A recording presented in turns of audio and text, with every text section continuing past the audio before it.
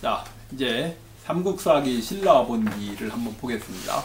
삼국사기 신라본기에 외가 출연하는 기록이 그 첫, 제일 초반에 4개가 나옵니다. 그 4개의 기록을 예, 살펴보겠습니다. 어, 삼국사기 초기 기록이 가장 읽기 쉬운 게 고구려 기록입니다. 그 다음이 백제 기록이고 어, 가장 어려운 것이 신라 기록인데 특히 예, 신라 그 전반 무슨 뜻이냐면 아, 통일 이후 빼고 신라가 1대 혁거세부터 그 문무왕 이 문무왕이 30대 정도 됩니다. 30대인가요? 그 중간을 나눠 가지고 그러니까 4세기 전반까지 16대 흐레 이사금까지를 전기라고 하고 17대 내물 이사금부터를 후기라고 합니다. 그래서 1대 혁거세 거서관부터 16대 흐레 이 사금까지 기록을 이제 이해를 해야 됩니다. 그 기록을 이해하는 게 예, 굉장히 중요합니다. 그래서 처음에 외를 만나는 기록이 나오는데 1대가 혁거세고 2대가 남해왕 3대가 유리왕 4대가 어, 탈해왕 그 다음에 5대가 파사입니다. 예, 처음에 신라가 건국되는 단계가 다섯 왕이에요. 경주에 먼저 들어가는 것은 예, 석씨가 먼저 들어갑니다. 탈해 이사금 원년이 57년입니다. 57, 1세기 중반이에요. 가야가 건국된 한 10년, 10몇 년 두인데 이때 석탈의 집단이 경주에 먼저 들어가요. 그러니까 석씨가 박씨보다 먼저 들어갑니다. 석씨가 어, 석씨 집단은 이렇게 되는 겁니다. 석씨를 뭐 외국의 동북 쪽에서 왔다. 그러면 우리가 어떻게 봅니까? 삼국지 통일전을 보면 어디를 외국이라고 하고 있어요? 일본 열도와 필리핀 열도를 외국이라고 했습니다. 그러면 일본 열도와 필리핀 열도 양쪽을 봐야 되는데 에, 동북 쪽이라면 필리핀에서 볼 때 양자강 하류입니다. 그래서 양자강 하류에서 한반도 쪽으로 계속 이미 들어오는 거예요. 예, 후한 시대에 이 이제 중국의 남부의 정치적인 혼란이 이런 의미를 만들어내는 건데 그래서 많은 사람이 들어오는데 그 중에 한 그룹이 이제 배를 타고 서남해안을 돌아서 처음에 지금의 김해 지역에 상륙을 했어요. 이제 수로왕의 남가가 건국된 직후입니다. 그러다가 어떻게 됩니까? 밀려나요. 그 남가야 수로왕에게 밀려나 가지고 다시 김해 바다를 북상합니다. 그리고 김해 바다를 북상해 가지고 경주항에 도착한 것이 서기 57년입니다. 예, 석탈에게 먼저 도착하고 그리고 박씨는 박씨는 BC 57년에 한강 상류인 지금의 동서울에 와서 건국합니다. 그때부터를 이거 제가 앞에 시리즈로 신라의 건국에 관한 내용을 했어요. 그리고 한 100년 정도 어, 서울에 있다가 이제 남한을 시작해요. 남한을 시작해가지고 파사이사금 때 서기 94년에 경주에 도착해서 먼저 와 있던 석씨를 비롯한 다른 집단을 정복을 하게 됩니다. 그래서 신라가 이제 초창기에 경주에 자리 잡게 되는 과정인데 외의 기록은 어디만 나오냐면 다음 이제 예, 기록 4개가 나옵니다. 자, 한번 읽어보겠습니다. 일대 혁거세 거서간 혁거세 8년 예, 뭐라고 나오냐면 외인이 변경을 침범하려다가 시조가 성덕이 있다는 말을 듣고 그냥 돌아갔다. 외인이 점결 예, 침범하려다 시조가 성덕이 있다는 말을 듣고 돌아갔다. 이거 뭡니까? 아무 일도 아니라는 거예요. 예, 당연히 사건은 달도 없습니다. 이건 아마 신라사원 중간에 어, 아마 끼워넣은 것 같아요. 신라사 끼워넣은 것 같아요. 아무 일, 사건이 안 일어났어요. 이런 것은 뺍니다. 그리고 다음에 2대 남해 차차웅 때, 그 남해 차차웅이면 지금 예, 동서울에 있을 때입니다. 거기에 뭐가 나오냐면 예, 남해왕 11년에 아, 사건 달이 없어요. 이거 달이 없습니다. 외인이 병선 100여 척으로 해변을 노략질하니 육부의 병사를 보내 맞게 하였다. 어떤 사건이 벌어지려면 원인이 있고 경고가 있고 결과가 있어야 되는데 딱 경, 중간에 과정만 튀어나옵니다. 아무리 봐도 앞뒤에 그 이 사건 외, 외와 전쟁을 이유가 없어요. 그 다음에 끝나고 나서 어떻게 됐다는 결과도 없어요. 그러니까 갑자기 튀어나오는 기록입니다. 이상한 기록이 있습니다. 그 다음에 3대 유리사금 때는 왜 기록이 안 나와요? 이때까지가 박씨신라가 서울에 있을 때예요. 그 다음에 타레이 사금대에 나오는데 여기 사금입니다. 타레이 사금 3년 그러니까 경주에 도착은 직후입니다. 3년이 서기 59년인데 여름 5월 외국과 우호 관계를 맺었다. 사건 결과가 나옵니다. 무슨 일이 있었길래 외국과 우호 관계를 맺었는지 그게 원인이 없이 결과만 나와요. 이 어떻게 된 겁니까? 원래 그 2대 남해 차차홍에 있는 외인이 병선 백척으로 해변을 노략질하니 육부 병살본에 맡게 했다. 이 기사가 여기 있는 겁니다. 여기 탈의 사금 3년 전에 있는 거예요. 59년 전에. 그리고 나서 외국과 우호 관계를 맺은 거예요. 아, 사실은 못 막았습니다. 어, 외인이 병선 백여 척으로 어, 신라를 공격해 오니까 못 막은 거예요. 못 막았는데 에, 이게 옮겨간 겁니다. 남해 차차공제 옮겨갔어요. 그리고 남해 차차공제 보면은 그 앞에 3년에 이제 또 이런 내용이 있습니다. 겨울 10월 일식이 있었다. 나오는데 그 일식 안 일어났습니다. 다른 데서 옮겨온 기록입니다. 남해 차차홍제에는 이와 같이 다른 데서 옮겨온 기록으로 의심되는 기록들이 있어요. 그 남해 차차홍제에 있는 일어나지 않은 일식 기록도 어디선가 옮겨왔는데 물론 뭐 여러 왕 때 일식이 일어났지만 이것도 탈해 왕조에서 옮겨온 것인가 있어요. 왜 이런 일이 벌어졌느냐 이거 이제 제가 마지막까지 읽고 말씀을 드리겠습니다.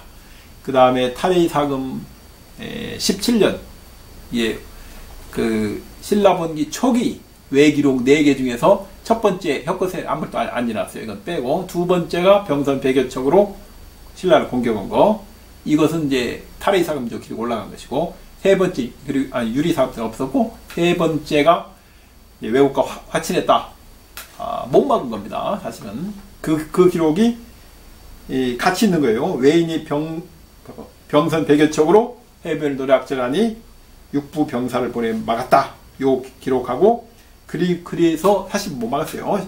신라가 졌다고 합니다. 그리고 외, 그리고 외국과 우호 관계를 맺었다. 이게 결과입니다. 그 다음에 약 10, 10여 년 지난 그 탈의 사금 17년에 신라가 반격을 해요. 사건 다리였습니다. 불행히도 외인이 목출도를 침범하여 왕이 각간 우호를 보내 막해하였으나 이기지 못하고 우호는 죽었다. 이 목출도가 어딥니까? 뭐 어디를 보니까 무슨 뭐 대마도다 거제도다 이게 전부 잘못된 겁니다. 지금의 김해평야에 있는 산들이 그 당시 그 섬이었어요. 그래서 이 목줄도는 지금은 육지가 된그 김해평야에 있는 어떤 산입니다. 저는 예, 신물산이나 가지산이 아닐까 그렇게 이제 추정을 하고 있어요. 이와 같이 네 개의 외 기록이 있습니다. 그 다음에 파사이 사금 때는 외 기록이 없어요. 그리고 6대 지마이 사금 때 외가 다시 출현합니다. 8대가 아달의 사금이에요. 박씨가 8대입니다. 그리고 9대가 버류이 사금입니다. 최, 초의 석시왕인데 버류이 사금이 왕이 돼서 딱 보니까 자신들의 왕이던 석탈해가 신라 왕에게 없는 겁니다. 그래서 어떻게 하냐. 자기들의 왕이었던 석탈해를 신라 왕에게 넣고 싶어요. 그래서 자기 석탈해를 넣으면서 그 자리에 있던 박시왕이 빠지는 겁니다. 박시왕을 빼버리고 그 자리에 이제 석탈의 기록을 넣는 석탈의 기록이 많지 않았어요. 그래서 석탈의 저 기록 대부분은 박시왕의 기록입니다.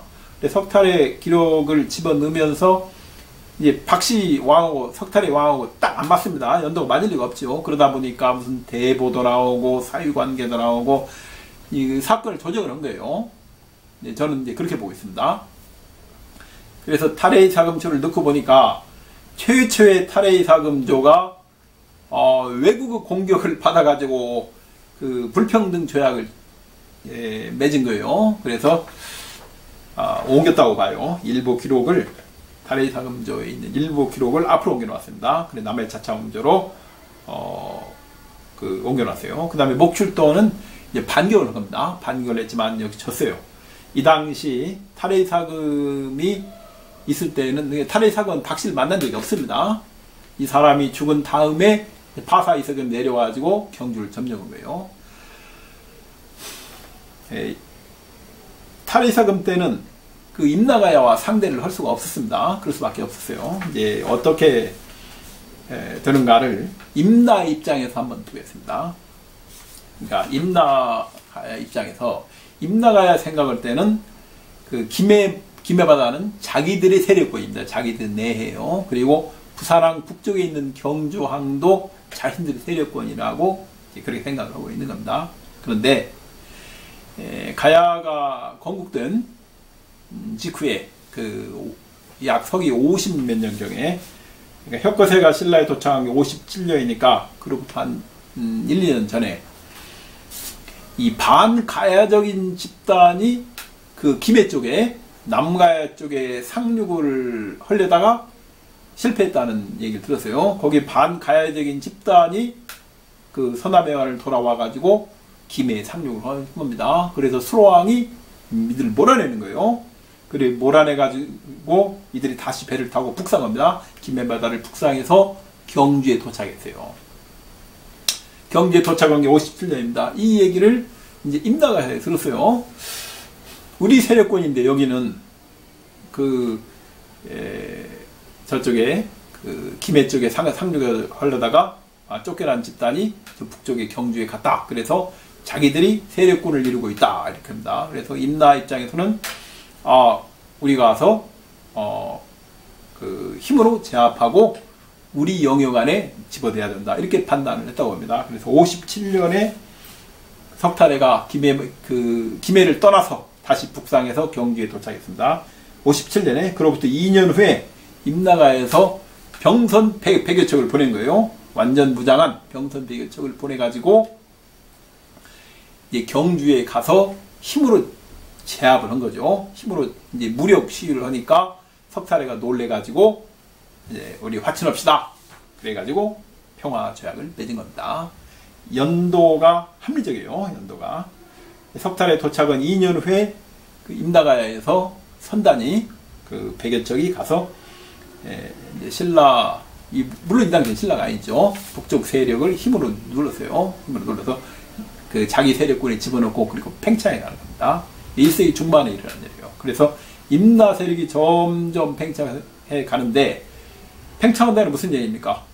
그 병선 배교척을 동원할 정도의 해상력, 해군력이라면은 어, 대마도도 가고 부산에서 큐슈도 가고 이제 갈 수 있는 거예요. 그래서 사람들이 훌륭하는데 많은 임나가야인들이 일본 열도에 도착하게 돼요. 큐슈에 도착한 겁니다. 1세기 후반에 가보니까 마한계 소국, 변한계 소국, 진한계 소국, 많은 소국이 있습니다. 그래서 1세기 후반에 도착해서 서기 100년에 2세기로 넘어가는 100년에 국가를 건국합니다. 그게 야마대의 기원이에요. 야마, 야마대 국가를 건국하고 숭신 천왕이 초 10대 왕입니다. 숭신이 야마대 분국의 왕으로 임나가야 분국의 왕으로 즉위를 하게 돼요. 그것이 이제 분국 임나가야 분국이 얼마나 많은지 모르지만 일본 열도 분국이자 야마대의 시작입니다.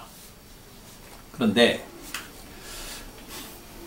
이 임나가야가 어 이제 국가를 팽창하는 중에 물론 이제 그 중에 목출도에서 신라가와 신라가 아니죠.